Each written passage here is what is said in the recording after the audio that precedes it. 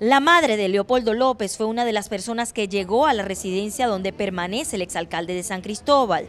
Dice que ver a la familia Ceballos reunida le permite confiar en que lo mismo ocurrirá en un futuro próximo en el caso de López. Me emocioné mucho hoy cuando subí y pude ver a, Daniel con sus, con sus tres hijos, con Patricia, con su madre Nancy, que verdaderamente, que es el hogar, como decía Patricia, es muy distinto a lo que son las visitas en, en las cárceles cuando uno va a visitarlos. Eso me llenó de emoción y la verdad que no hice sino pensar en un reencuentro de Leopoldo con, con Manuela, con Lilian y con Leopoldo Santiago en la casa de ellos.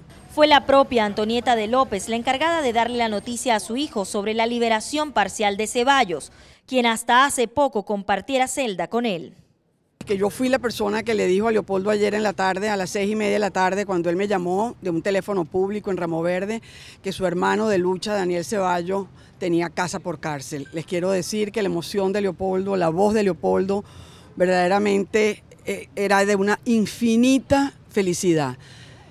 Ninguno debe haber estado preso ni un solo día. Y esto demuestra una vez más que estamos en el camino de la libertad. ¿Qué espero yo? Yo espero la libertad plena para todos compañeros de Voluntad Popular también ofrecieron respaldo a estos líderes políticos. Y nosotros vamos a seguir luchando mañana, tarde, noche, día hábil, fin de semana, día feriado, para que Daniel tenga libertad plena, para que Leopoldo salga de Ramo Verde y para que todos los jóvenes estudiantes que están injustamente presos también tengan libertad plena. Este miércoles estaba prevista una sesión en el juicio del líder de Voluntad Popular, a la cual no asistió.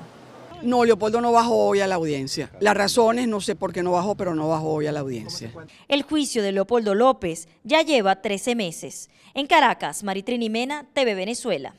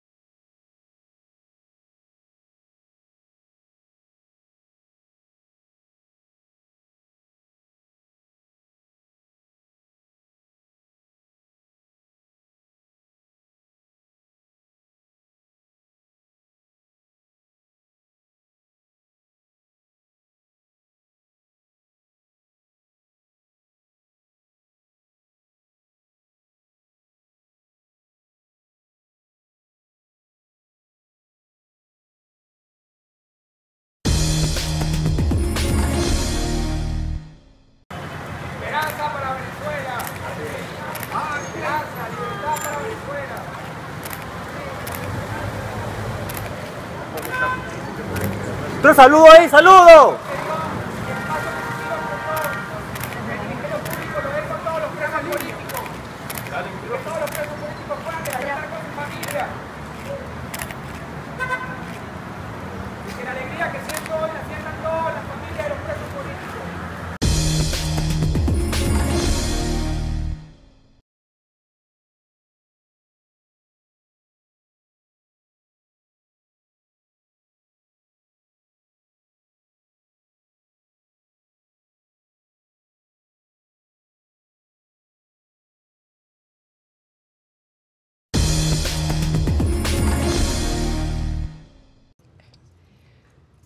Em, el mensaje de Daniel, eh, con las restricciones que tiene para poder declarar, para poder escribir, es, es muy sencillo.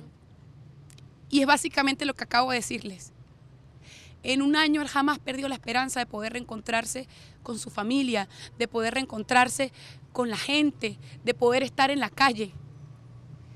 Y esa fortaleza que él ha tenido y que me transmite a mí, le transmite hoy a nuestra familia, es la que quiere transmitirle a todos los venezolanos, que no, no perdamos la fe, que debemos mantenernos más firmes y más fuertes que nunca, porque la libertad va a llegar, la libertad está cerca y son tiempos de cambio en Venezuela.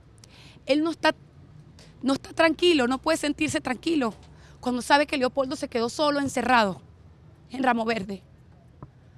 Cuando sabe que salió anoche del heliscoide y tuvo que despedirse de todos esos muchachos que se quedaron allá, esperando que la libertad llegue para ellos también.